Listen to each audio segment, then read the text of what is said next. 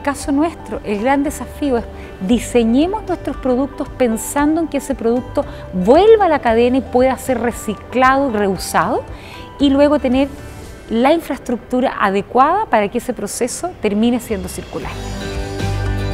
Una forma para que las empresas avancen fuertemente en sustentabilidad es que se conviertan en empresas donde la economía circular es una realidad. ¿Qué significa eso? Que produzcan productos que después se van a poder transformar en materia prima para volver a la economía. Toda empresa debe nacer sustentable, porque debe estar desde el día uno midiendo cuál pudiera ser el futuro impacto en la naturaleza y en el planeta.